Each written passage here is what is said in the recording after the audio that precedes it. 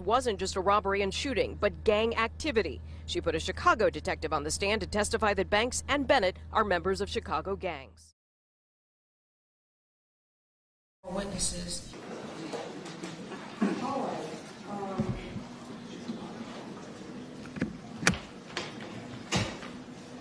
As it respects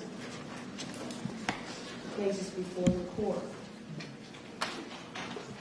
and defendant Durk Banks, 19 CP 183973, this court finds probable cause for criminal attempt to murder, aggravated assault, participation in criminal street gang activity, possession of a firearm during the commission of felony, and possession of a firearm by a courtesy felon.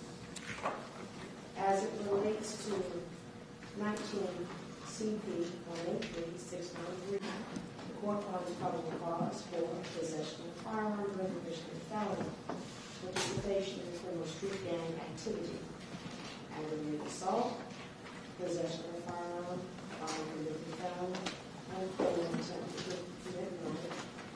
Court notes that,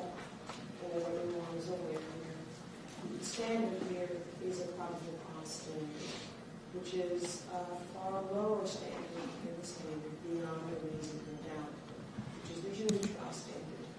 And as it relates to the charge of participation in the criminal street gang- activity, as to both of these defendants and both of these indictments, I do believe that the state has um, hurdled over that particular burden, that they met probable cause and they've um, been able to surpass probable cause. I do uh, believe that the state has more work to do as it relates to that particular charge uh, in these amendments um, in reaching a uh, beyond a reasonable doubt standard.